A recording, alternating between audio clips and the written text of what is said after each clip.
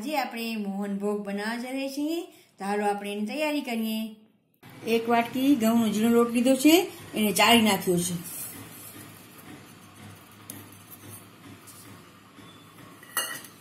અડધી વાટકી ઘઉંનો જાડો કરકર લોટ લીધો છે. એ નાખશું અમે બે ચમચી ઘી લીધું છે. એને આપણે ગરમ કરશું. જો આપણો ઘી ગરમ થઈ ગયું, હવે આપણે એને ઉતારી ને એમાં બે ચમચી જેવું આપણે દૂધ નાખશું. એમાં આપણે બે ચમચી દૂધ નાખશું.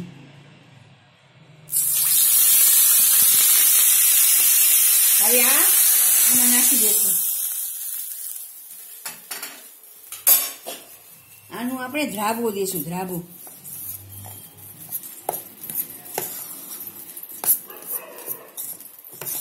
જો આવી રીતે ચમચીથી મિક્સ કરી, પછી આપણે હાથેથી મિક્સ કરશું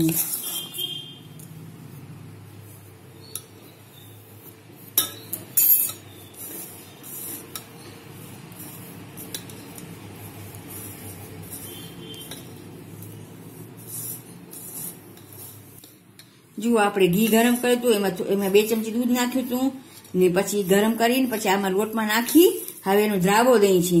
જો આવો આવો મુઠ્ઠી પડતું ખપે ઘી એમાં. હવે આને બરાબર મિક્સ કરી અને દાબી અને થોડી અને પંદર મિનિટ માટે રાખી દેશું.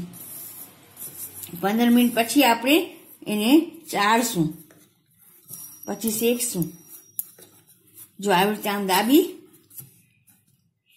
ને ઢાંકી ને પંદર મિનિટ માટે આપણે રાખી દઈશું એને.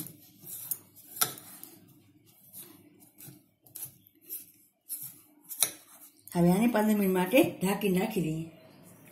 આપણે જે લોટને ધ્રાબોડીને રાખ્યો હતો ને, એને હવે આપણે ચાણીથી ચાળી નાખશું. તો શું, કાણી કાણી બધી નીકળી જાય.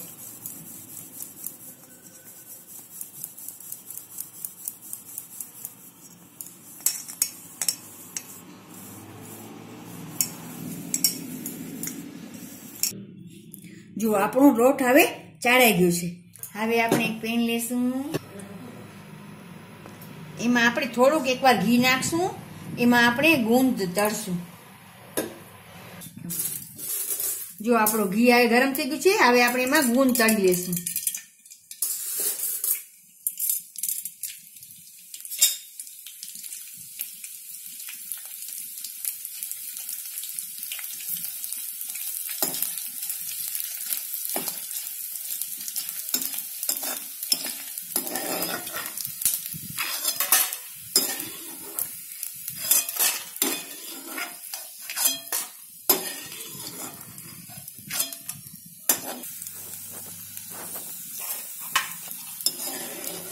આવી રીતે બધો ગુંદ એકવાર તળી નાખશું આપણે.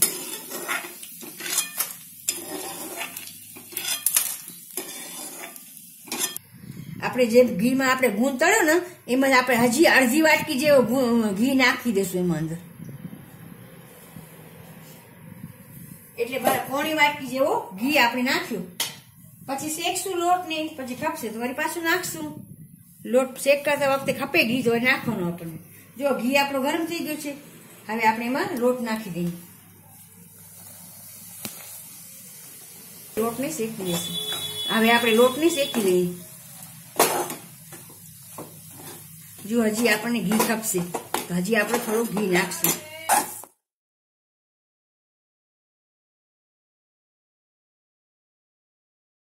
બનાવતો હોય ને એમાં ઘી સરખો જોઈએ. ઘી સરખો હોય તો આપણી વસ્તુ સરસ થાય.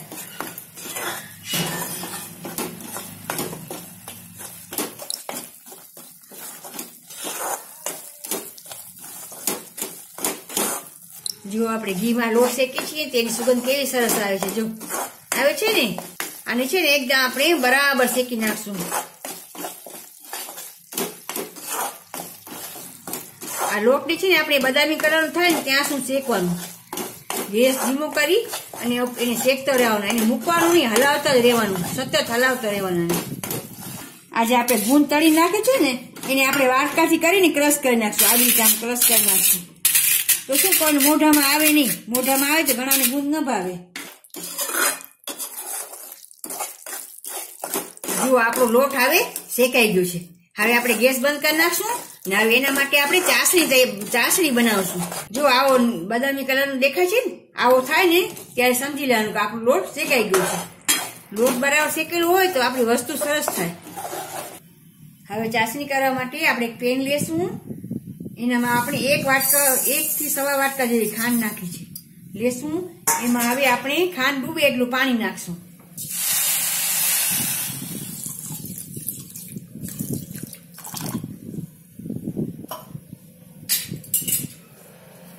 ખાંડ ડૂબે એટલું પાણી નાખી પછી આપણે હલાવવાનું. આ આપણી ચાસણી આપણે દોઢ તારની ખપશે. તો ચાસણી બનાવી લઈએ. આપણે જે ગુંદ તળી નાખ્યું છે ને એમાં નાખી દેશું, લોટ શેકી નાખ્યું છે એમાં આપણે નાખી દેશું અંદર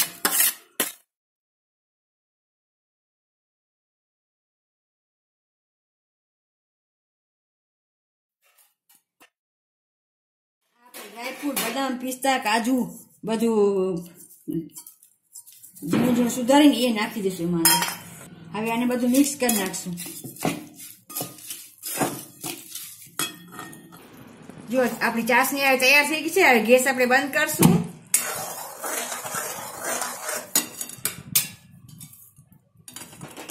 અને આ જે આપણે લોટ શેકીને રાખ્યો છે ને, એમાં નાખી દઈશું ચાસણીને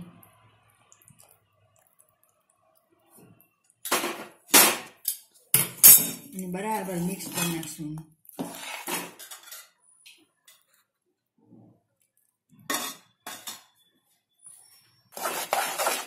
એને થોડીક હલાવશું, પછી આપણે એને ઢાળી નાખશું. હવે આ ચોકી લીધી છે, એમાં આપણે ઢાળી નાખશું. એના ઉપર ઘી લગાડી નાખ્યું છે, હવે આપણે ઢાળી નાખીએ.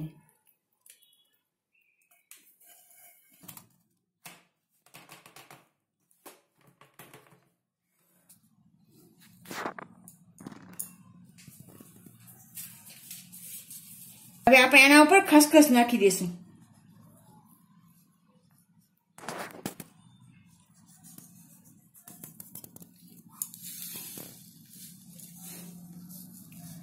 હવે આને દસ મિનિટ ઠંડો થવા દઈશું ને પછી આપણે એના પીસ પાડશું ને પછી સર્વ કરશું. જો આપણો થોડો ઠંડો થઈ ગયો છે, હવે મેં કાપા પાડી લીધા છે. હાલો હવે આપણે સર્વ કરી નાખીએ. મોહનભોગ આપણો બનીને તૈયાર છે. હાલો આપણે સર્વ કરી નાખીએ. બધા દર્શકોને મારે હેપી દિવાળી અને નવા વર્ષની શુભકામના. સૌનું નવું વર્ષ મંગલમય રહે એવી મારી શુભકામના.